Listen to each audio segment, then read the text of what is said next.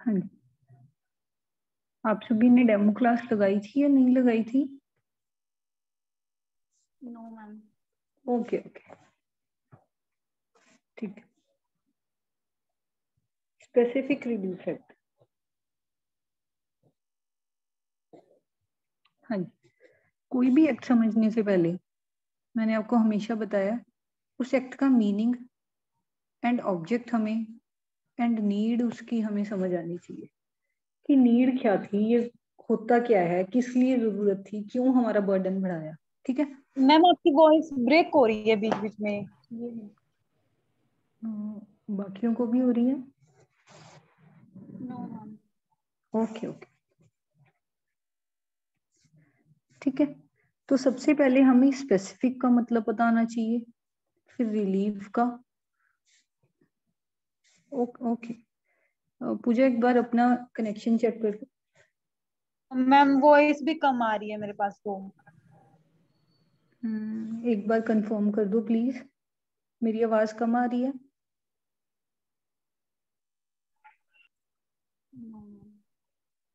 नहीं पूजा रिजॉइन कर लो एक बार। मैम कोई बात नहीं एक बार ब्लूटूथ कनेक्ट कर दो तो फिर देख। ठीक स्पेसिफिक रिलीफ एक्ट स्पेसिफिक क्या मतलब है? रिलीफ का क्या मतलब है?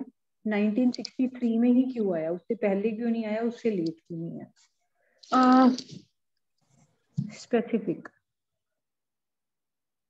what is the meaning of specific specific मतलब हम अगर सेक्शन अगर आप प्लीज़ अपना बेरेक्ट पास में रखो।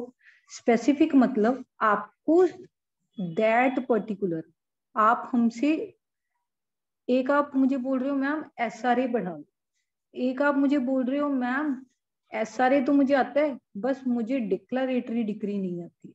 मतलब आप मुझसे क्या रिलीफ मांग रहे हो? या तो मैम मुझे लॉ ही नहीं आता है, या मैम मुझे सिर्फ़ आईपीसी नहीं आती है। फ़र्क है ना? स्पेसिफिक का क्या मतलब है? आप मुझसे रिलीफ क्या चाहते हो?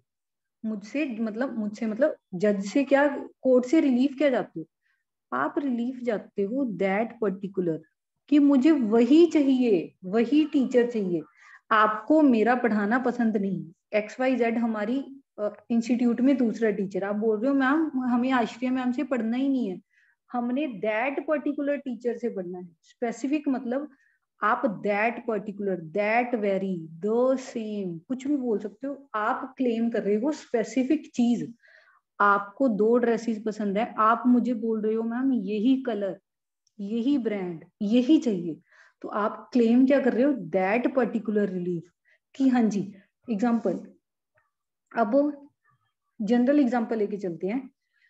आपका और मेरा कॉन्ट्रैक्ट था कि मैं आपको आईपीसी पढ़ाऊँगी। ठीक है? मैं आपको आईपीसी पढ़ाऊँगी, आप मुझे मेरी फ़ीस पे कर दोगे। आपने मुझे फ़ीस फ़र्स्ट डे ही पे कर दी। ठीक है? अब क्या हुआ? बीच में मैंने पंद्रह दिन बाद सिक्सटीन डे पढ़ाना छोड़ दिया। सर ने मेरे से सब्जेक्ट लेके लेके किसी और एक न्यू टीचर को अपॉइंट कर दिया सी अब आप क्या बोल रहे हो? भी हमें, अब ठीक है एग्जांपल लगाओ सीवी कोई टीचर ही नहीं है। अब अकेडमी में कोई पढ़ाने के लिए टीचर ही नहीं है। ठीक है? अब आपको सर ज़्यादा से ज़्यादा क्या बोल सकते हो? हाँ जी, आपने इतना अमाउंट पे किया है, आप अपनी अमाउंट वापस ले लो। मतलब हम आपको डैमेजेस देने के लिए तैयार है ना, आपका जो नुकसान हुआ। बट बी बोल रहे नुकसान का मैं क्या करूँ? मेरे तो नेक्स्ट मंथ एग्ज़ाम है ना।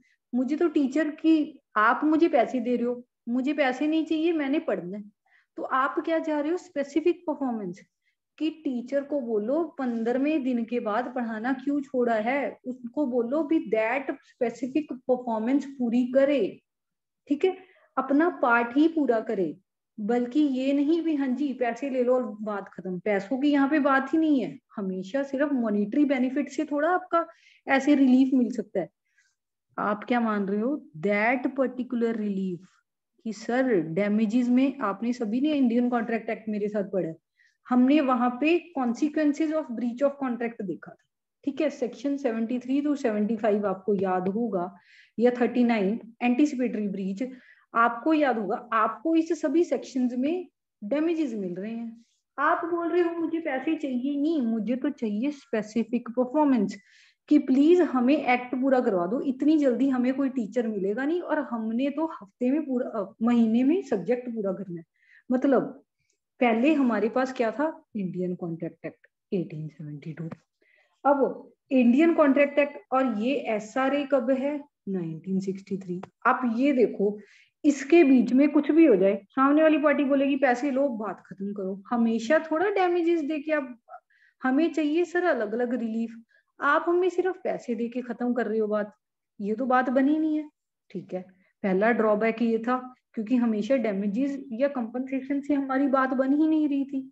हमें चाहिए था एडिक्वेट रिलीफ चलो, आपको मिल रहा है इंडियन कॉन्ट्रैक्ट एक्ट आपको रिलीफ दे रहा है। क्या आपका, आपको एडिक्वेट रिलीफ दे रहा है? क्या आपको सफिशियंट रिलीफ दे रहा है? नहीं। आपको मन पसंद रिलीफ नहीं मिल रहा है। आपको रिलीफ तो ठीक है, आपको मुक्ति तो मिल रही है, शांति मिल रही है बट मनपसंद की शांति नहीं मिल रही है। ठीक है? नेक्स्ट हम बात करते हैं कोविड का केस की। ये भी मैंने आपको डेमो क्लास में बताया था। हॉस्पिटल वन है। कोविड का टाइम है। ये बोलते हमें फाइव थाउज़ेंड बेड्स चाहिए वेंट, वेंटिलेटर्स चाहिए। ठीक है? बहुत बड़ा प्राइवेट हॉस्पिटल है। बोलते फैक्ट्री वालों के साथ कर दिया पाँच हज़ार वेंटिलेटर्स हमें चाहिए। कितने? हाँ जी विद इन मंथ हम मंथ में आपको प्रोवाइड कर देंगे। कितने में कर दोगे? एग्ज़ाम्पल पचास लाख। एग्ज़ाम्पल ठीक है? फिफ्टी लाख का कॉन्ट्रैक्ट हो गया, पाँच हज़ार वेंटिलेटर्स देंगे, ठीक है? बट उससे भी एक हॉस्पिटल बड़ा आ गया, उससे बड़ा प्राइवेट हॉस्पिटल वो भी इनके पास फैक्ट्री के पास चला गया। भी हाँ जी, हमें भी set number of amount example four thousand five thousand जितने भी हमें वेंटिलेटर चाहिए। तो वो बोलते, इस मंथ तो हमारे पास कॉन्ट्रैक्ट है हॉस्पिटल वन के साथ। सर नेक्स्ट मंथ हम आपको दे देंगे। अब कोविड का टाइम है। इतना तो टाइम था नहीं ना। भी हाँ जी, पहले अब वो बोलेंगे, महीने में तो एक एक दिन में हमारा इतना लॉस हो रहा है। हम महीना वेट नहीं कर सकते हैं। हमें तो सर इसी मंथ चाहिए। वो आपके साथ कितना कॉन्ट्रैक्ट कर रहे हैं? पचास लाख का। हमसे पकड़ो सिक्सटी लाख। और उनका कॉन्ट्रैक्ट कैंसिल कर दो, हमारे साथ कॉन्ट्रैक्ट कर लो। फैक्ट्री वालों का तो पैसा देख के दिमाग खराब हो गया। भी हाँ जी, दस लाख का बेनिफिट मिल रहा है। ठीक है, अगर इनको मैंने फिफ्टी टू भी दे दिया तो भी आठ लाख मेरी जेब में सीधा सीधा पड़े हैं। तो वो बोलते एज ए डैमेज पचास है, मैं आपको फिफ्टी टू दे के काम खत्म तो कर रहा हूँ। इंडियन कॉन्ट्रैक्ट एक्ट में जाओ, उनको बोलो ब्रीच ऑफ़ कॉन्ट्रैक्ट किया है फैक्ट्री वन ने। ठीक है फैक्ट्री वन आपको डैमेजेस दिलवा देगा। बट यहाँ पे क्या? कोविड की सिचुएशन लेके देखो। आपका कोई ब्रीच ऑफ़ कॉन्ट्रैक्ट कर रहा है। आपको क्या चाहिए? स्पेसिफिक परफॉर्मेंस की फैक्ट्री वालों को बोलो वो ही स्पेसिफिक परफॉर्म करें। अभी बाट हमें पैसे नहीं चाहिए। ठीक है? हमें क्या चाहिए? वेंटिलेटर्स चाहिए, क्योंकि हमें डायर नीड है वेंटिलेटर्स की। तो मतलब इंडियन कॉन्ट्रैक्ट एक्ट से तो बात नहीं बन रही थी। और रिलीफ अभी हमने एक्ट स्टार्ट नहीं किया जस्ट मैं आपको ग्लिम्स बता रही हूँ नीड क्या थी। और रिलीफ देखते हैं। आपका बहुत सुंदर सा घर है। ए का। ठीक है? बी रोज आता है। मैं तुझे घर से निकालूँगा। मैं तुझे घर से निकालूँगा। रोज धमकी लेके निकल जाता है। अब आप बोलोगे, मैं कहा जाऊँ? आप सेक्शन नाइन में जाओगे सीपीसी में। बट क्या चाहते हो? सर, आपका घर है सीपीसी में जाके आप रिलीफ क्या मांगना चाहते हो? सर मैं रिलीफ मांगना चाहता हूँ, मेरे पास मेरे को क्या चाहिए? आप बस ये डिक्लेयर कर दो, ये मेरा घर है। मुझे क्या चाहिए? डेक्लरेटरी डिक्री चाहिए। डेक्लरेटरी डिक्री तो सर सीपीसी में नहीं है सिविल सूट बट ये सिविल मैटर है तो मैं कहा जाऊँ? सर डिक्लरेटरी डिक्री की कोई बात नहीं हो रही थी तो डेक्लरेटरी डिक्री की ज़रूरत थी। ठीक है इवन दो उसने आपको घर से नहीं निकाला है, फिर भी आपको नीड तो थी ना?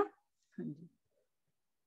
मतलब अगर आप एक सिविल मैटर देखो ये सारे सिविल मैटर्स ही है कोई क्रिमिनल मैटर तो है नहीं। उसमें हमेशा एक कॉज ऑफ़ एक्शन होता है। मतलब कॉज ऑफ़ एक्शन होता क्या है? इन सिंपल लैंग्वेज एक आपका राइट होता है जो सामने वाली पार्टी इंफ्रिंज करती है। एक आपका राइट होता है जो सामने वाली पार्टी इनफ्रिंज करती है तो इससे आपका कॉज ऑफ़ एक्शन बन जाता है।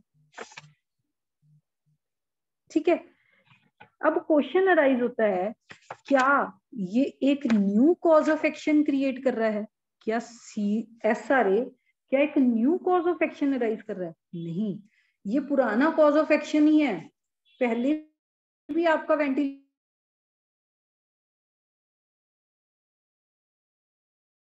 भी था, बस आपका एक नया राइट अब क्रिएट हो गया है। भी अब सिर्फ़ पैसे दे के बात नहीं बनेगी, अब हम स्पेसिफिक परफॉर्मेंस मांग सकते हैं, आपसे डिक्लेरेटरी डिक्री मांग सकते हैं रेटिफिकेशन मांग सकते हैं कैंसिलेशन मांग सकते हैं इंजंक्शन मांग सकते हैं।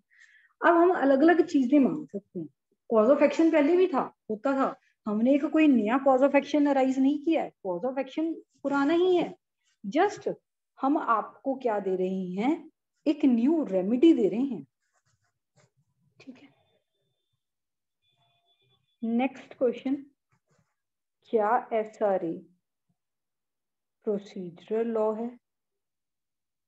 क्या सब्सटेंटिव लॉ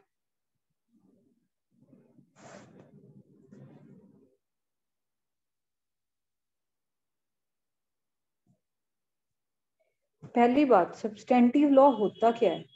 जो डिफाइन करता है या क्रिएट करता है हमारी राइट्स एंड लाइबिलिटीज क्या एस आर ए हमें नए राइट्स दे रहा है? यस और नो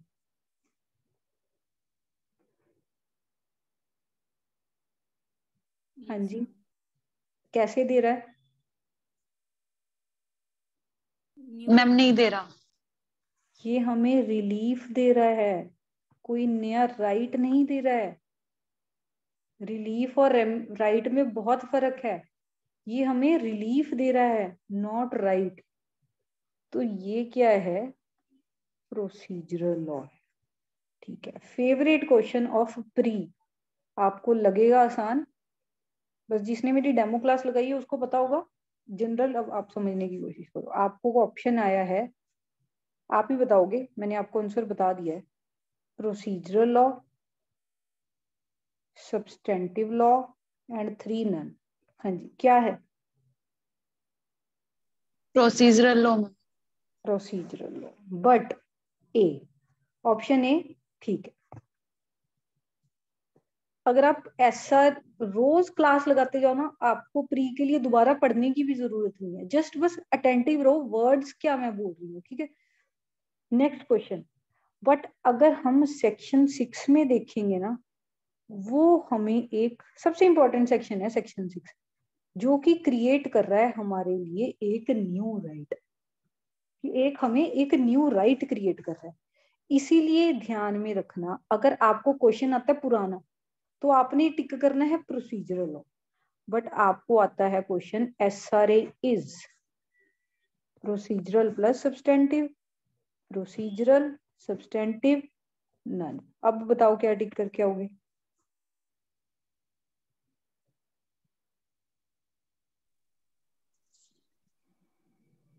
ए ठीक है? तो प्लीज़ ऑप्शन के हिसाब से जाना वो आपसे क्या पूछ रहे हैं? अगर ये ऑप्शन वैसे आता नहीं है ये ऑप्शन बट अगर आया तो आपने हमेशा यही टिक करके आना है तो प्लीज़ तब प्रोसीजर लॉ पे टिक कर मत करके आना ठीक है?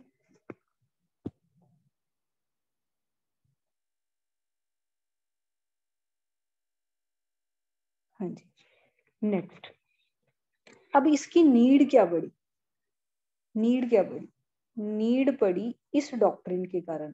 ओबीजस ईबी रेमीडियम मतलब where there is a right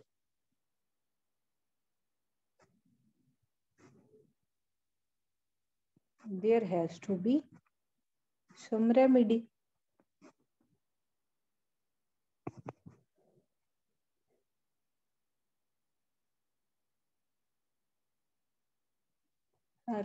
ठीक है?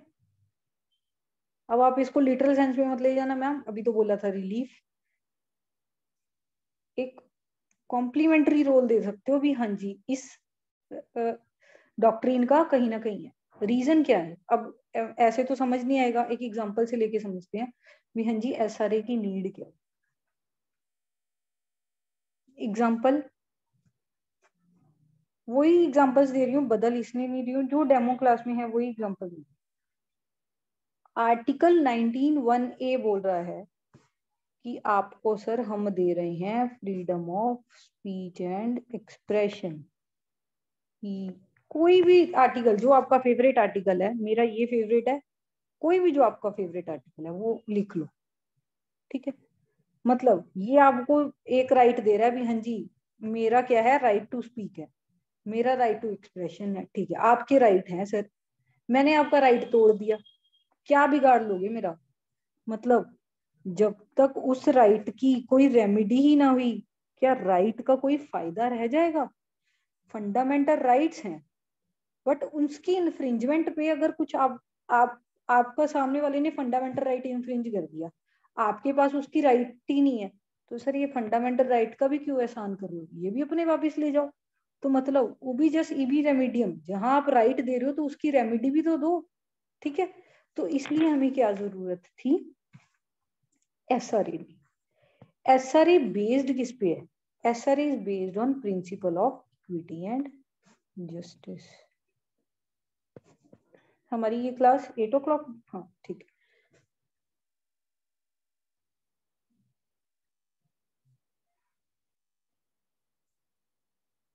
इसकी अब नीड क्या है? जहाँ पे भी, भी आपको कोई दूसरा सब्सटेंटिव लॉ एक इनएडिक्वेट रिलीफ दे रहा है। दूसरा सब्सटेंटिव लॉ अगर अगर आपको एक इनएडिक्वेट रिलीफ दे रहा है तो ये आपको एक कॉम्प्लीमेंट्री रोल है प्ले कर रहा है।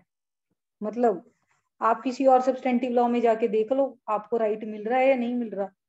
नहीं मिल रहा तो एंड में एस आर ए तो कॉम्प्लीमेंट्री रोल है। एक एडिशनल रेमेडी है आपके पास।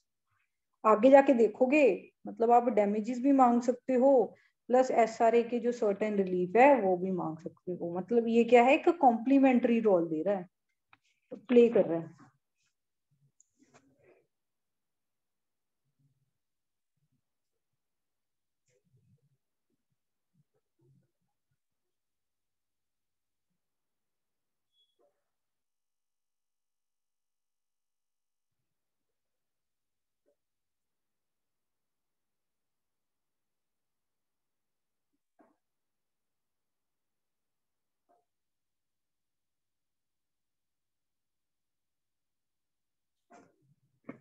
हाँ जी, यहाँ तक कोई भी डाउट हो।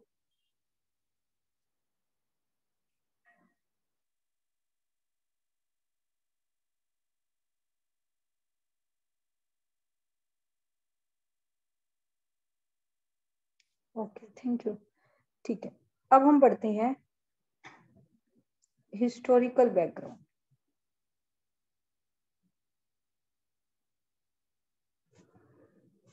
historical background of SRA 90, 18, 1963.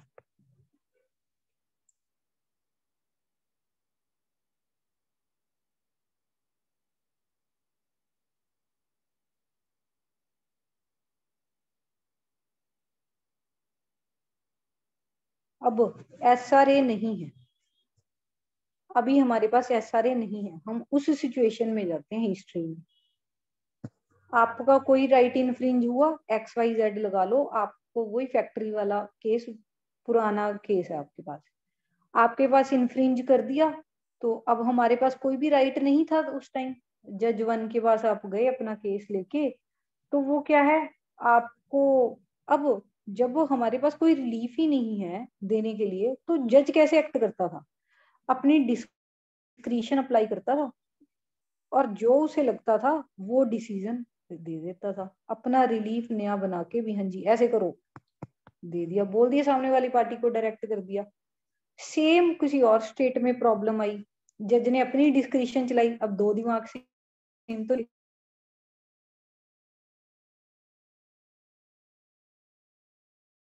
अपनी डिस्क्रिप्शन लगा के कोई और जजमेंट दे दी। जब तक कोई लॉ नहीं है तो आपके हिसाब से क्या गलत, क्या सही? इंडिविजुअल एज एन इंडिविजुअल हमारे सबके अलग अलग सोच होंगे अलग अलग थॉट्स होंगे, ठीक है? आपको वो रिलीफ सही दे रहा है आपको। बट अब इतनी सारी स्टेट्स सेम प्रॉब्लम अलग अलग रिलीफ आ रहे हैं। अब ये लगा लो, ये सभी दोस्त हैं। जज ए के पास गया ए जज टू के पास गया बी जज थ्री के पास गया सी जज फोर के पास गया डी ये चार बंदे दोस्त हैं। ये इकट्ठे जिस दिन बैठे, वो बोलते, मेरे जज ने तो ये डिसीज़न दे दिया, तेरे ने सेम मैटर में ये दे दिया, तेरे ने ये और तेरे ने ये। मतलब कोई ना कोई तो इसमें से मतलब तेरा वाला हमें सबसे बेस्ट लगा। ये तो लगता है पढ़ के नहीं आए। इन्होंने लॉ नहीं पढ़ी। इन्होंने तो हमें अच्छा रिलीफ ही नहीं दिया। मतलब अब क्या हो रहा था? डिस्प्यूट अराइज हो रहा था। कि एक मैटर पे डिस्क्रिशन से आप तो अलग अलग जजमेंट्स दे रहे हो सेम मैटर आया है।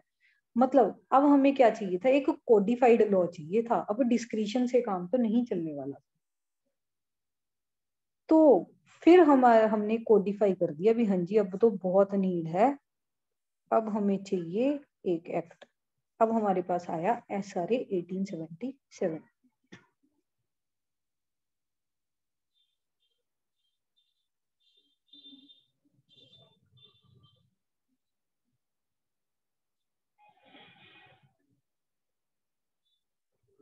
जब ये आया, उसके बाद लॉ कमीशन की नाइन्थ रिपोर्ट आई।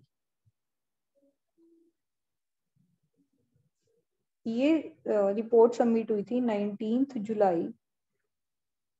प्री में पूछा जाता है 1958 कौन सी रिपोर्ट है? नाइन्थ रिपोर्ट ठीक है? इस दिन सबमिट हुई तो उन्होंने की, बोला, जो 1877 का एक्ट है ना तो इसको अमेंड करने की ज़रूरत है, इसमें बहुत सारी कमियाँ हैं। और पहले तो उन्होंने बोला भी अमेंड करो भाई बहुत सारी कमियाँ हैं। सेकंड बोला there is no need of separate act क्यों बच्चों का बर्डन बढ़ा रहे हो? क्यों जजेस का बर्डन बढ़ा रहे हो? इस एक्ट को डिलीट कर दो। जो एग्जांपल आप डैमेजेस इंडियन कॉन्ट्रैक्ट एक्ट में मांग रहे हो ना तो स्पेसिफिक रिलीफ भी सर उसी में डाल दो। अलग एक्ट उक्ट बनाने की ज़रूरत नहीं है। मेन एक्ट में अमेंडमेंट करो, वही में रिलीफ सजेशन क्या आई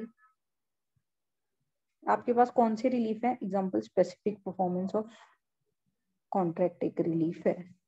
एक रिलीफ है आपके पास इंजंक्शन एक आपके पास रिलीफ है पोजेशन एक आपके पास है डेक्लारेटरी डिक्री ठीक है? एग्ज़ाम्पल बहुत सारे हैं रेटिफिकेशन ये अलग अलग, ये चार लगा के चलो। तो उन्होंने बोला, जैसे स्पेसिफिक परफॉर्मेंस ऑफ़ कॉन्ट्रैक्ट है ना कॉन्ट्रैक्ट किसे डील करता है? इंडियन कॉन्ट्रैक्ट एक्ट यहाँ के चैप्टर इंडियन कॉन्ट्रैक्ट एक्ट में डाल दो सेक्शन बढ़ा दो वहाँ पे, क्या दिक्कत है? इंजंक्शन हमने सीपीसी में पढ़े हैं तो इंजंक्शन की अमेंडमेंट सीपीसी में डाल दो। पोजेशन क्या है? प्रॉपर्टी की होती है प्रॉपर्टी किससे डील करती है? टीपीए से। तो इनके दो तीन तो सेक्शन है, उठाओ और टीपीए में डाल दो। डेक्लरेटरी सीपीसी का मैटर है सीपीसी में डाल दो। ये एसआरए की किताब करो खत्म, और इनके जो रिस्पेक्टिव एक्ट्स हैं उसमें सब में इंसर्ट कर दो इसको। अलग एक्ट की तो कोई ज़रूरत ही नहीं थी। ये लॉ कमीशन की रिकमेंडेशन थी। लेजिस्लेचर की ये बात पास पहुँची भी हाँ जी, ये सजेशन है। उन्होंने बोला हाँ जी, आपकी बात हम बिल्कुल सही मानते हैं। There was no need of separate act समझ रहे हैं? आपने अमेंडमेंट चाहते हो, हम उससे भी एग्री हैं। सेपरेट एक्ट की इतनी ज़्यादा ज़रूरत नहीं थी, हम ये भी मानते हैं। बट अगर आप पोलक और मुल्ला की बुक्स पढ़ोगे तो उसमें भी बोला है। हाँ जी there is no need of separate act कोई सेपरेट एक्ट की नीड नहीं है। बट आप क्या कर रहे हो? लेबर बढ़ा रहे हो लेजिस्लेचर का। मतलब वो पहले यहाँ से डिलीट करे सेक्शन फिर इतने सारे एक्ट्स में अमेंडमेंट लाए, फिर उसमें इंसर्ट करे। जब अलग पड़ा है तो अलग ही पड़ा रहने दो ना। मतलब एक एक्ट खत्म करने से कितने एक्ट्स में आप अमेंडमेंट लेके आओगे? सारे डिस्टर्ब करोगे आप एक्ट तो एक्स्ट्रा लेबर एक्स्ट्रा काम क्यों दे रहे हो? जब अलग किताब बन गई है तो अलग को ही पढ़ दो ना। तो उन्होंने बोला, नहीं, ये हम आपकी सजेशन नहीं मान सकते। भी हाँ जी, अभी हम इसको डिलीट करें और नया एक्ट बनाएँ।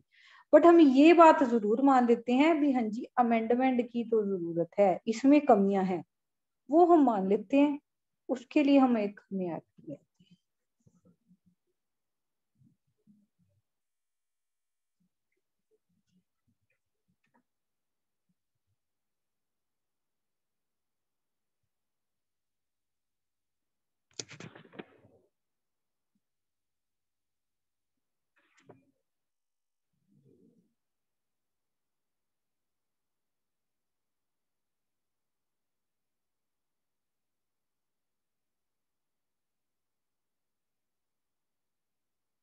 हाँ जी, कोई भी डाउट हो।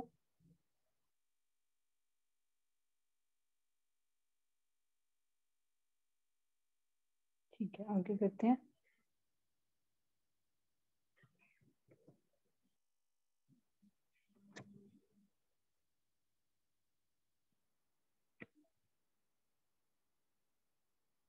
एक मिनट, बच्चे, मैं पानी पी लूँ? जो भी डाउट्स हैं, आप बोलो इतने।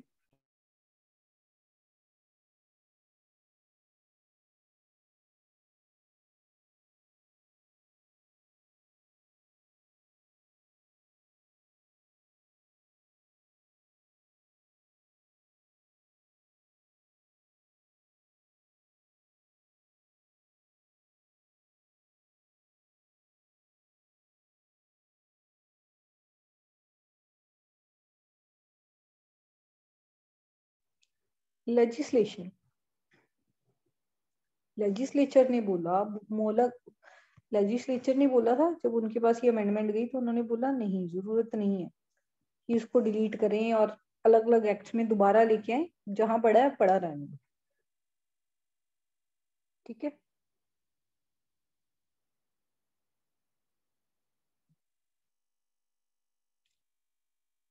ओके और कोई डाउट हो? ठीक है, आगे करते हैं। Next S R S R E क्या है? एस आर ई क्या राइट इन रेम है या राइट इन परसोनम है? क्या है? अब पहले ये समझते हैं क्या होता है, फिर ही मैम इसका जवाब दे पाएँगे। ठीक है राइट इन रैम देखते हैं क्या होता है। राइट इन रैम मतलब जो राइट right आपको मिल रहा है अगेंस्ट द होल वर्ड उसे हम बोलते हैं right in rem in contrary right in personam means right आपको मिल रहा है against that particular person only मतलब it binds party to the suits only अब बात आई एस आर ए क्या है? क्या S R A right in rem है? क्या S R A right in personam है? ठीक है एग्ज़ाम्पल से समझते हैं। आपका ये घर है?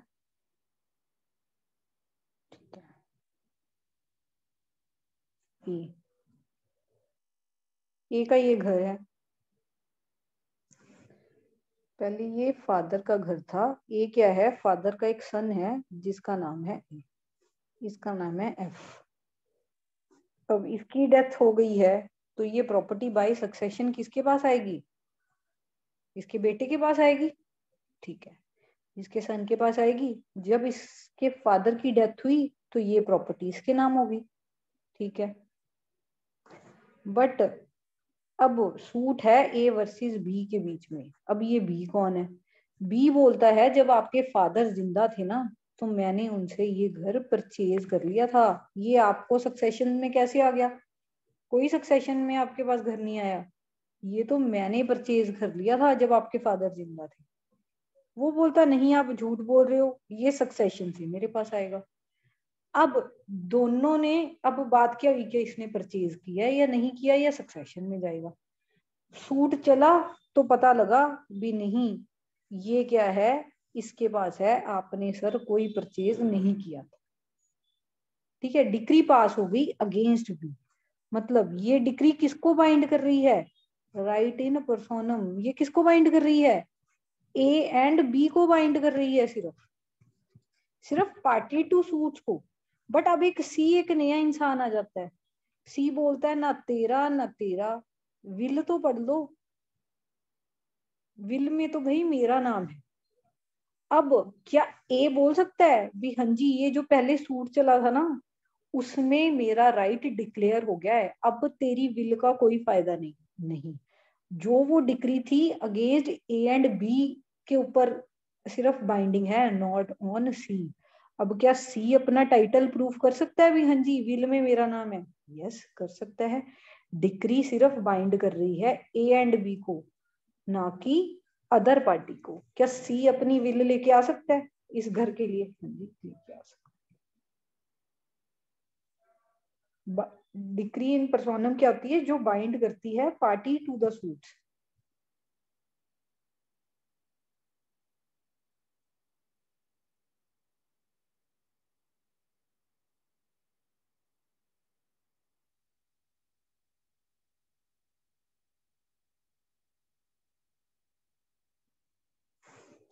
next. What is the scope of SR क्या इसका स्कोप क्रिमिनल लॉ है या सिविल लॉ है, या दोनों है। पढ़ते हैं इसका प्रियम्बल प्रियम्बल में जवाब मिलेगा इसका। ठीक है।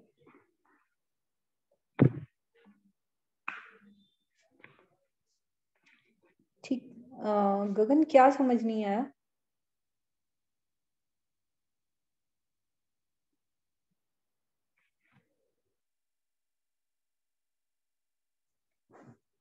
रेम होता है जो अगेंस्ट होल वर्ड जो एक बार जजमेंट पास होगी तो वो अगेंस्ट होल वर्ड आपकी एग्जांपल क्या आप एक ही वाइफ हो?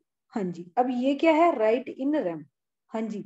अब क्या कोई सी आके जब आपकी वैलिडिटी ऑफ़ मैरिज एक बार चैलेंज होगी तो वो क्या होगी? अगेंस्ट रेम मतलब वो जजमेंट बाइंड करती है अगेंस्ट होल होल वर्ड के अगेंस्ट आपको वो राइट मिल गया।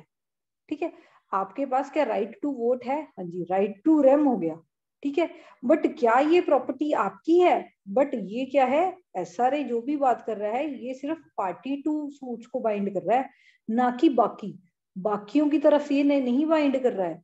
बाकी अगर कोई अपना नया क्लेम लेके आ जाए, अगर अपना फ्रेश क्लेम लेके आ जाए तो वो हाँ जी रेज कर सकते हैं अपना मैटर भी हाँ जी, आप दोनों में से तो ठीक है, इसकी बात सही है। बट आप मेरी बात तो भी तो सुनो ना, मेरी इन दोनों से सही है। हाँ जी। तो वो पार्टी टू सूट्स को बाइंड कर रहा है नॉट टू अदर पार्टी ठीक है? Ma'am S R right in rem में या परसोनम है? परसोनम ऑफ़ कोर्स ओके हाँ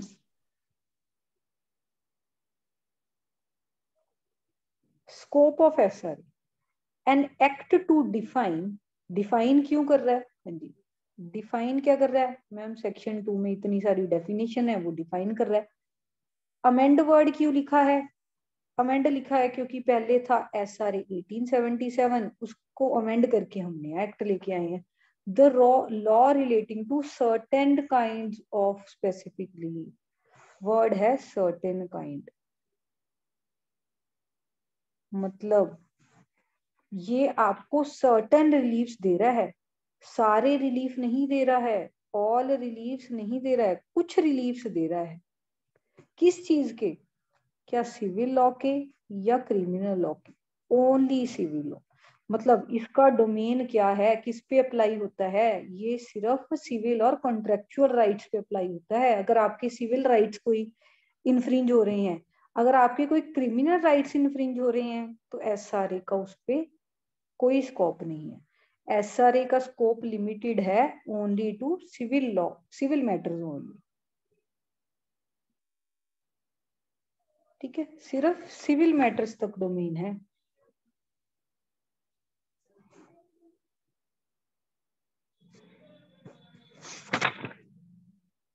ठीक है?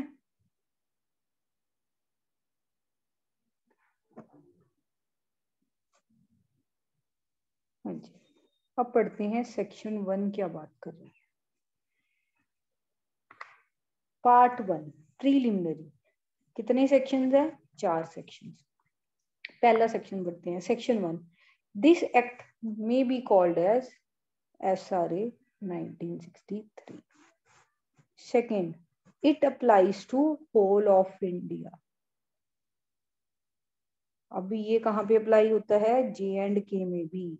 बाय जे एंड के वही आज सुबह वाला लेक्चर सीआरपीसी वाला रीऑर्गेनाइजेशन एक्ट 2019 31 अक्टूबर 2019 के बाद S R A J and K में भी अप्लाई होता है।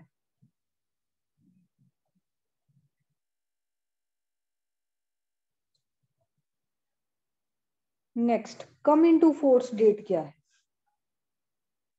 लिखा गया it shall come in to force on such date as central government may by notification जो सेंट्रल गवर्नमेंट ने नोटिफिकेशन में बताई है, वो डेट सच डेट कौन सी है? फ़र्स्ट मार्च 1964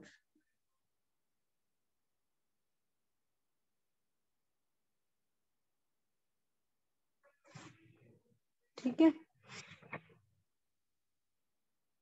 इस डेट इस एक्ट को प्रेसिडेंट की असेंट कब मिली थी? थर्टीन दिसंबर 1963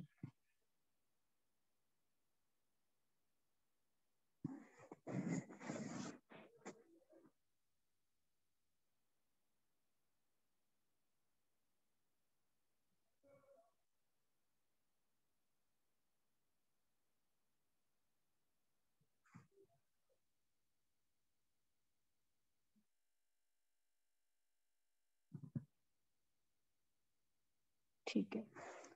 अब हम आते हैं डेफिनेशन पे टू ए क्या बोल रहा है? ऑब्लिगेशन आगे जाके वर्ड आएगा आपके पास ऑब्लिगेशन ऑब्लिगेशन क्या है? Every duty enforceable by law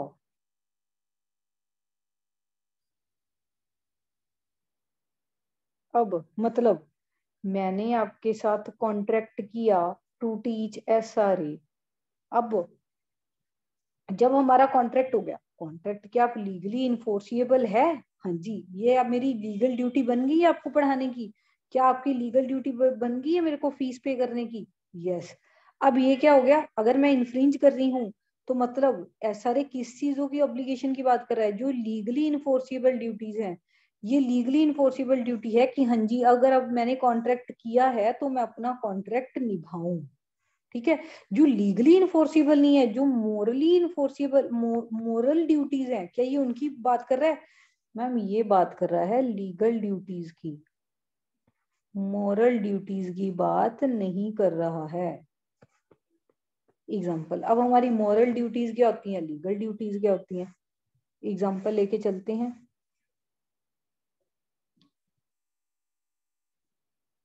ठीक है? ये एक स्विमिंग पूल है। सेम एग्जांपल है, ये एक स्विमिंग पूल है, ठीक है? अब क्या हुआ? आपने देखा कि ए इंसान यहाँ पे डूब रहा है, ठीक है? उसे स्विमिंग नहीं आती है। आप यहाँ पे खड़े हो। आप प्रो आपको तो स्विमिंग बहुत अच्छी आती है। आपने उसे नहीं बचाया। क्या ये प्री में पूछा गया है? दिल्ली के प्री में। ठीक है, वैसे मैंने अपनी तरफ़ से कुकअप स्टोरीज नहीं की है ये पेपर में पूछा गया क्वेश्चन है। ठीक है? क्या अब ये आपकी ऑब्लिगेशन थी कि हाँ जी, सामने कोई डूब रहा है तो प्लीज़ उसे बचा तो लो? नहीं। ये आपकी मोरल ड्यूटी थी। मोरल ड्यूटी थी जब आपको आती है स्विमिंग यार, जाके बचा लो। कोई आपकी लीगली बाउंड नहीं हो भी हाँ जी, कोई सब फंस रहे हैं तो आप वहाँ जाके पहुंचोगे पहुंचोगे और सामने वाले को बचाओगे। कोई ड्यूटी नहीं थी। सेम एग्ज़ाम्पल ए यहाँ पे डूब रहा है। बट आप क्या हो स्विमिंग की क्लासेस ले रहे हो? किससे? बी से। ये क्या है आपका ट्रेनर अब क्या आपको ट्रेनर ना बचाए तो वो उसकी लीगल ड्यूटी थी। Yes yes. यहाँ पे उसकी लीगल ड्यूटी थी।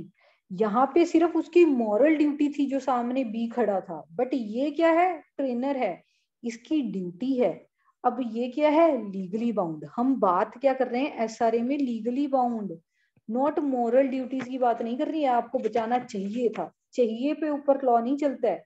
आपकी सर लीगली इन्फोर्सिबल ड्यूटी थी। आपको सेव करना चाहिए था। तो उस पर हमारा लॉ अप्लाई हो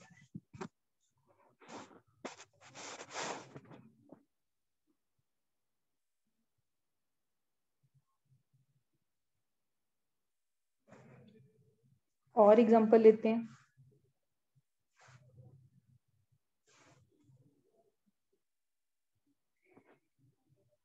ए है बैगर बहुत दिन से खाना नहीं खाया ठीक है?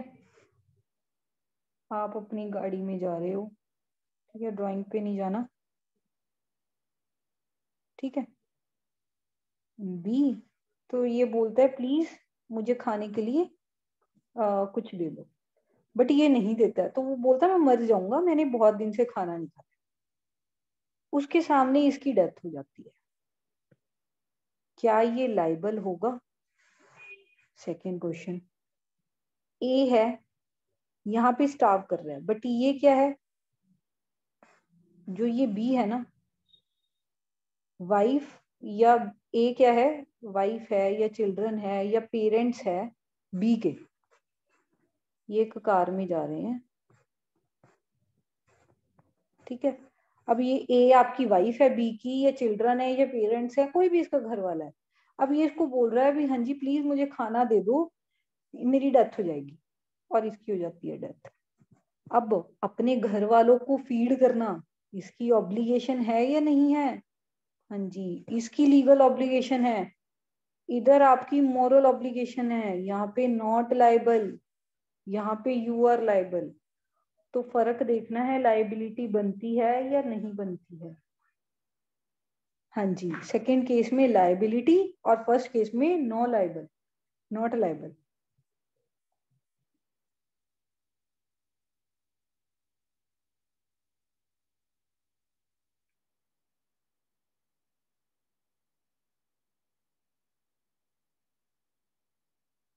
ठीक है। सेटलमेंट की डेफिनेशन छोड़ दो। जब हम आगे आएँगे सेटलमेंट की, तब देखेंगे।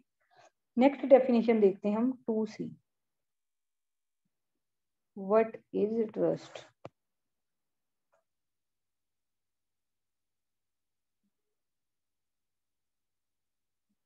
trust क्या है? मैम, वही ट्रस्ट की डेफिनेशन है, जो section three Indian trust act में दे रखी। अब इंडियन ट्रस्ट एक्ट में ऐसी कौन सी डेफिनेशन दे रखी है? समझते हैं। ट्रस्ट क्या होती है? और टू डी में ट्रस्टी भी बोला गया वो भी पढ़ लेते हैं साथ में पढ़ लेंगे। ट्रस्टी क्या है? Every person holding property in trust जो पर्सन होल्ड कर रहा है प्रॉपर्टी इन ट्रस्ट उसे हम क्या बोलते हैं? ट्रस्टी ठीक है अब हम समझते हैं ट्रस्ट क्या होती है ट्रस्टी क्या एग्ज़ाम्पल हाँ, लगाओ जॉन एक इंसान है नाइन्टी ईयर ओल्ड। बहुत रिच है, बहुत वेल्दी है। है बहुत पैसा है इसके पास। इसके सन का रिच है। इसके सन का नाम है रॉन। जिसकी डेथ हो जाती है। ही डाइज उसके आगे दो सन हैं। Peter and Pan. ये एक साल का है। ये लगा लो दो साल का है।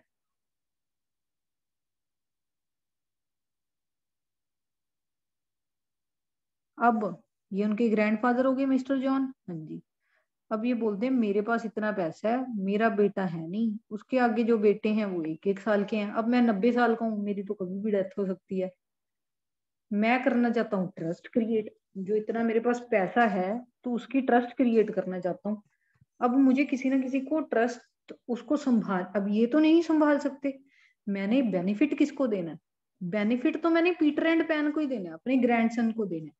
बेनिफिट इनको देना है तो इन दोनों का नाम क्या हो गया? बेनिफिशियरी ये तो हो गए बेनिफिशरी बट कोई ना कोई ट्रस्ट संभालने के लिए एक ट्रस्टेड पर्सन चाहिए, जो होल्ड करे ट्रस्ट को। मतलब ट्रस्टी वो बना देता है मिस्टर रोज को ट्रस्टी मतलब जॉन ने क्या की? क्रिएट ट्रस्ट किसके फेवर में? अपने ग्रैंडसन के फेवर में जो कि है अल्टीमेट बेनिफिशियरी बट प्रॉपर्टी संभालने के लिए कोई इंसान चाहिए? तो मिस्टर रोज, रोज को क्या बना दिया? ट्रस्टी मतलब वो क्या है? एक थर्ड पर्सन को ट्रस्टी बना रहा है. बट अल्टीमेट बेनिफिट क्या इसको मिलेगा? मिस्टर रोज जिसको आपने नहीं ये तो सिर्फ़ प्रॉपर्टी की देखभाल करेगा। प्रॉपर्टी तो sir beneficiary Peter and Pan के पास ही जाएगी। तो ये क्या होती है? सिंपल लैंग्वेज में ट्रस्ट नेक्स्ट देखते हैं टू ई टू ई क्या बात कर रहा है। All other words and expression use here in but not defined यहाँ पे आपको बहुत सारे वर्ड्स लिखेंगे जो बोले तो गए हैं बट डिफाइन नहीं किए गए, लिखे तो गए हैं। बट उसको इंडियन कॉन्ट्रैक्ट एक्ट में ज़रूर डिफाइन किया गया है। तो आप डेफिनेशन हम नहीं लिख रहे हैं, आप इंडियन कॉन्ट्रैक्ट एक्ट वाली ही एग्जांपल आप आगे जाके पढ़ोगे वॉइड का मतलब क्या है? एग्रीमेंट का क्या मतलब है? तो सर हमने वहाँ पे वॉइड एग्रीमेंट क्या होता है? एग्रीमेंट क्या होता है? वैलिड वैलिड कॉन्ट्रैक्ट क्या होता है? हमने वहाँ पे सब कुछ समझा रखा है। तो यहाँ पे हम अलग नहीं दे रहे हैं। तो डेफिनेशन इंडियन कॉन्ट्रैक्ट एक्ट से उठा के एस वाली वही डेफिनेशन पढ़ लो।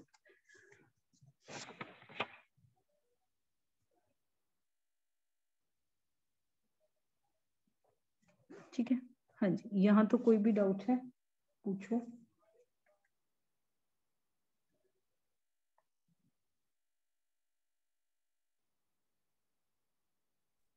मैम? हाँ जी। ये राइटिंग पर्सोनम में जो आपने एंड में बताया था ना कि सी के मतलब उस एग्जांपल की बात करें कि विल है उसके पास मतलब विल में उसका नाम है। हाँ जी। तो विल तो राइट इन रैम होनी चाहिए ना क्योंकि ये तो अगेंस्ट होल वर्ल्ड होता है ना विल का राइट तो। मैंने क्या बोला मैंने बोला क्या ए एंड बी की मैं आपको जस्ट एग्जांपल विल आप मत भी लो। मैंने बोला वो आपको एक नया राइट क्रिएट करके सी कोई भी एक नया मेरे कहने का मतलब था, सी कुछ भी एक नई चीज़, विल राइट इन रैम पहली बात नहीं होती है। मैंने विल क्या बनाई है?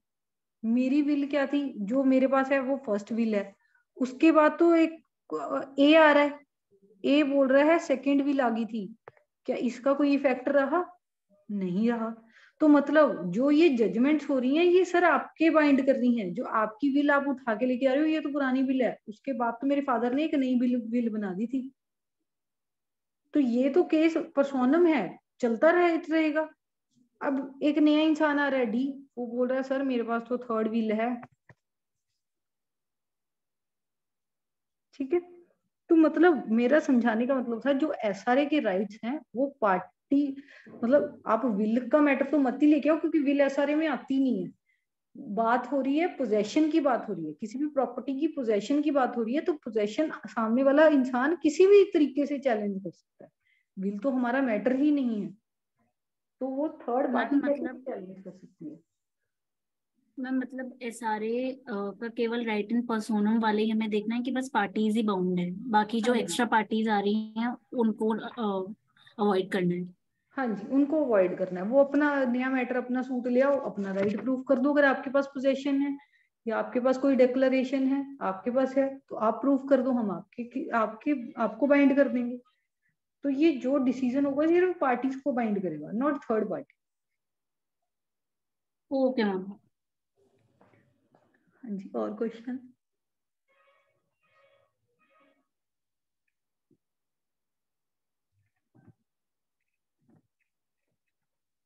ठीक है. एंड करें session thank you ma'am okay thank you so much